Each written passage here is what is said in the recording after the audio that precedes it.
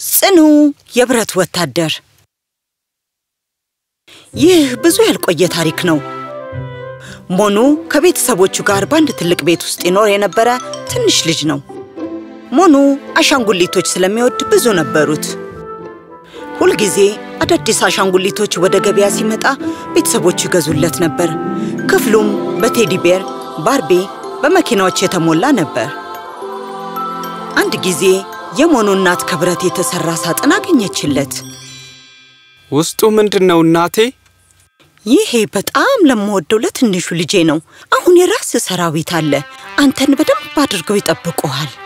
በደንብ ይጠብቁሃል የኔ ልጅ። ዋው! ብረት ወታደሮቼ! በሳጥኑ ውስጥ መቶ ከብረት የተሰሩ ወታደሮች ነበሩት። አንዱ ወታደር ከሌሎቹ በጣም የተለየ ነበር። ኦ ይሄ ምስኪን ወታደር አንድ እግር ብቻ ነው ያለው እናቴ። ኦ በስህተት መሆን አለበት። እዚህ ያስቀመጡት ጎዶሎ ነው። እመልሰዋለሁ። በፍጹም እናቴ፣ የተለየ ማለት መጥፎነት አይደለም ብለሽ አልነበረ እንዴ እናቴ? ስለዚህ በቃ እሱ የተለየ ነው። ካፕቴን አደርገዋለሁ። ሌሎቹን ሁሉንም ተመሳሳይ ናቸው። ስም ላውጣላቸው አልችልም።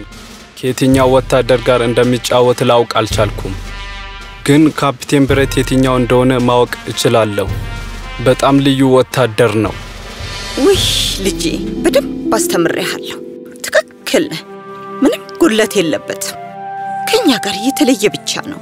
እርሱ በጣም ልዩ ልጅ ነው።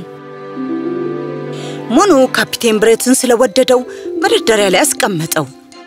ስማ ካፕቴን ብረት፣ እኔ ባልነበርበት ጊዜ ሌሎቹ ወታደሮች ትቆጣጠራለህ። እሺ፣ እኔ እና አንተ አንድ ቡድን ነን። እርስ በርስ እንጠባበቃለን። ሞኑ ራት ደርሷል። እሺ ካፕቴን ብረት፣ በኋላ እንገናኛለን። ብረት የሰውን ልጅ ወደደው። ሞኑ በሩን ዘግቶ እንደወጣ አሻንጉሊቶቹ ሁሉ ሕይወት ዘሩ። ካፕቴን ብረትን ይቆጣጠራቸው ነበር። ነጩ የቻይና ድብ ተንጠራራ። በሚገርም ሁኔታ ወድቆ የነበረው ቀጭኔ ተነስቶ አንገቱን መቃናት ጀመረ። ትክክል ወዳልሆነው አቅጣጫ አንገቷ ዞሮ የነበረው ባርቢ አንገቷን አስተካከለች። አሁን የጨዋታ ጊዜ ነው። ሞኑ የት አለ? ምን ሆናችኋል? ከጥቂት ደቂቃ በፊት ከእኛ ጋር ይጫወት ነበር እኮ። እሺ፣ የእኔ የሌሊት ወፍ ነኝ። ቀን ቀን ተኛለሁ። የእኔ ችግር አይደለም።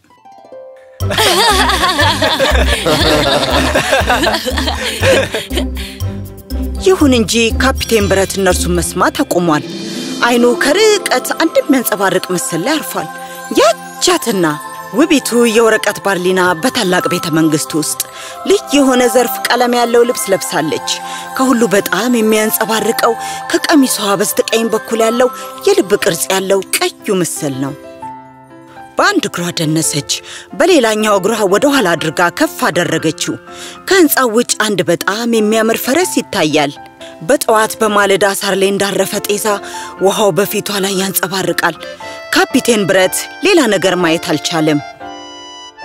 wow! እንደ እርሷ ያለ ቆንጆ በሕይወት ዘመኔ አይቼ አላውቅም። ትሬሲ? አዎ እሷ ነች። ሁልጊዜ በአንድ እግሯ በጣም ትጉ ballerina ነች። ኦ እም፣ አዝናለሁ። አለማክበሬ አይደለም። ጮክ ብዬ መናገሬን በፍጹም አላወቅኩም ነበር። ኦ አ አንተ በጣም ጥሩ ወታደር ነህ፣ ትሑትና አክባሪ። ክብር ይሰማኛል። አመሰግናለሁ። ለአቶ ዶልፊን የተናገረው ያን ብቻ ነው። ይሁን እንጂ የተናገረውን ፈጽሞ አይረሳም። ትሬሲ ባለሪና ካፒቴን ብረት ከእርሷ ጋር ፍቅር እንደያዘው ለማወቅ ጊዜ አልወሰደበትም። ምሽቱ አለፈ። አሻንጉሊቶቹ ሁሉ ተጫወቱ፣ ተሳሳቁ። ይሁን እንጂ ካፒቴን ብረት አይኑን ከትሬሲ ላይ አልነቀለም። ሄጄ ማናገር አለብኝ። ነገር ግን ምን እላታለሁ? ልትቀበለኝ ትችላለች? ቢሆንም መሞከር አለ። እዚህ ቁጭ ብሎ ከማሰብ ይሄ የተሻለ ነው። አቶ ዶልፊን፣ ከዚህ መደርደሪያ ላይ እንድወርድ ትረዳኛለህ? ወይዘሮ ትሬሲን ሄጄ ማናገር አለብኝ። የሚሰማኝን ልነግራት ያስፈልጋል። አዎ ትክክል። ነገር ግን አንድ ነገር እንድናገር ትፈቅድልኛለህ? በትክክል ትሬሲ በዚህ ካሉት በረኒናዎች ሁሉ ቆንጆ ናት። አንተ ግን የአንድ እግር ወታደር ነህ። ትቀበለኛለህ ብለህ ታስባለህ? በጣም ስለምወድህ እንድትጎዳ አልፈልግም። ትቀበልኛለች ብለህ ታስባለህ? ግድ የለም አትዘን። እውነቱን ተናግርሃል። አንድ እግር ብቻ መሆኔ ልብ ያሌለኝ ያስመስልሃል ብለህ ታስባለህ? ምን ያህል እንደምወዳት እንድታውቅ እፈልጋለሁ። እርሷ ሊሰማት የሚችለው ነገር እኔ መወሰን አልችልም። ካልመሰላት እምቢ ልትለኝ ትችላለች። ቢሆንም ግን በመጀመሪያ ልታውቅ ይገባል። በእንደዛ መልኩ አላሰብኩትም። ትክክል ነህ። ሌሎቹ ስለኛ የሚያስቡት ያንን ያህል አስፈላጊ አይደለም። መሄድ ትችላለህ። መልካም እድል ካፕቴን ብረት። ካፒቴን ብረት በረጅሙ ተንፍሶ ወደ ባለሪና ቀና። ሊዘል ሲሞክር ጥቂት ጊዜያት ወደቀ። ይሁን እንጂ በተነሳ ቁጥር በዚያው ጉልበትና ኃይል ይዘል ነበር። በመጨረሻም ከህንፃው ደረሰ። ደንግጧል። ምን ማድረግ እንዳለበት ግን ያውቅ ነበር። በጣም ቆንጆ ሆነችና ልትተዋወቃት እንደምትፈልግም ንገራት። ኦ እንዴት ነሽ ወይዘሪት? ምን ያህል ውብ እንደሆንኩ ልናገር በዚህ አለሁ። ኧረ ምን ማማ ማለቴ ቆንጆ እንደሆንሽ ማለቴ ሌሎቹ አስቀያሚዎች ናቸው ልል ፈልጌ አይደለም፣ ግን ማንም አስቀያሚ የሆነ ሰው የለም። ይሄ ግንቡም በጣም ያምራል። አው ኩሬው፣ ቀጭኔ እና ድብም ሁሉም ውብ ፍጥረቶች ናቸው።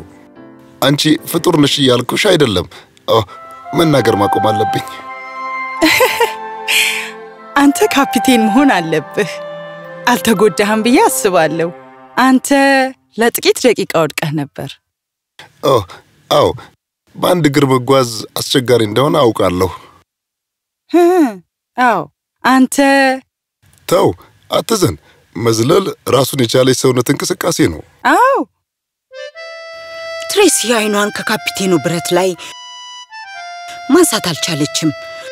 እንደዚህ አይነት የልብ ጥንካሬ ያለው ወታደር አይታ አታውቅም። እዚህ የመጣሁት አንቺ በጣም ቆንጆ ballerina እንደሆንሽና ደግሞም ልነግርሽ ጓደኛሽም ልሆን ነው። አመሰግናለሁ ካፒቴን። ካፒቴንና ትሬሲ ሌሊቱን ሙሉ ከኩሬው አጠገብ አሳለፉ። ለሁለቱም በጣም ያማረ ምሽት ነበር። ነይ አዲሱን አሻንጉሊቶችን ሂ አንቺን ለአዲሱ ካፕቴን አስተዋውቅሻለሁ።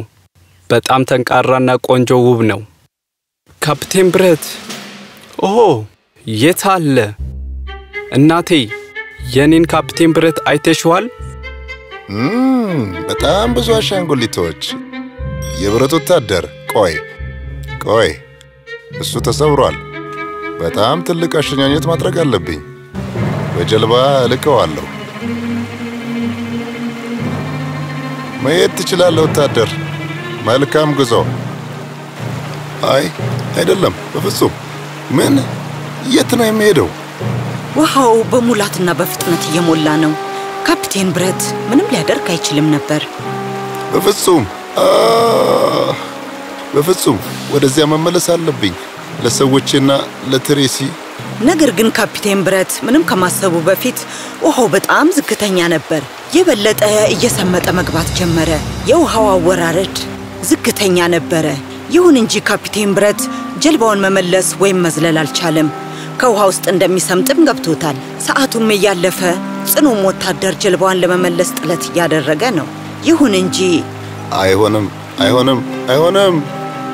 ውሃው ከባህሩ ጋር ተቀላቀለ። ጀልባው ፈጽሞ ተሰባብሯል።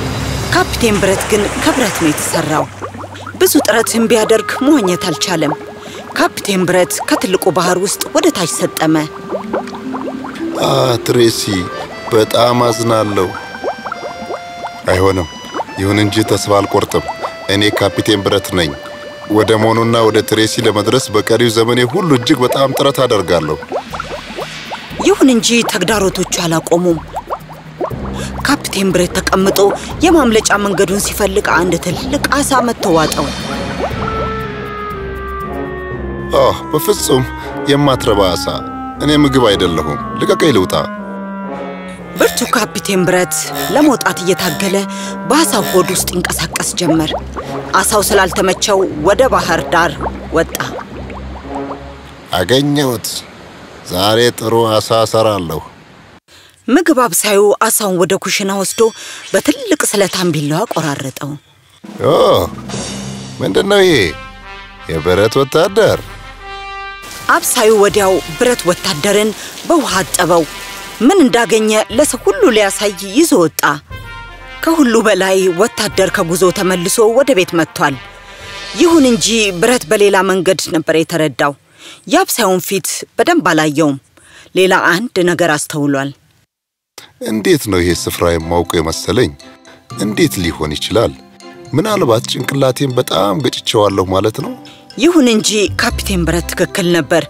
ከዚህ ቀደም እዚያ ነበር። ያው ተመሳሳይ ቤት ነው። ወደ ሞኑና ወደሚወዳት ወደ ትሬሲ ቤት ነው የተመለሰው። ያ ካፕቴን ብረት ነው። ትላንት ጠፍቶብኝ ነበር። ሆ ስለመጣልኝ አመሰግናለሁ። ብረት ሞኑን በማየቱ ደስ ብሎታል። ነገር ግን በአይኑ የሚፈልገው ውዱን በለሪናን ነው። ያው እዚያ ያለች ከነበረችበት እንደቆመች ነች፣ እርሱን እየጠበቀችው። ብረት ወደ እርሷ ሲመለከት አይኑን ማንሳት አልቻለም። ቲን ከአብሳዩ እጅ ተንሸራቶ የሚነድ እሳት ውስጥ ሲወድቅ አላየም። ኦ ካፕቴን ብረት! ነገር ግን በጣም ዘግይተው ነበር። ብረት እየቀለጠ ነው። ቢሆንም ህመም አልተሰማውም። አሁንም ballerina ን አተኩሮ እያያት ነው። ትሬሲም ከወታደሩ ወዳጇ ላይ አይኗን ማንሳት አልቻለችም። ከእርሱ ጋር አብራ ብትሄድ መረጠች። ወዲያው ሞኑ ሐሳብ መጣለት። ወደ መስኮቱም ሮጦ ሄዶ ከፈተው። አሁን ንፋሱ እሳቱን በደንብ ያጠፈዋል። ነገር ግን ነፋሱ እሳቱን ሊያጠፋው አልቻለም። ያደረገው ነገር ቢኖር የወረቀቷ ባለሪና ወደ እሳቱ ገፍተው በመወርወር ነበር። ኦ አይሆንም ትሬሲ!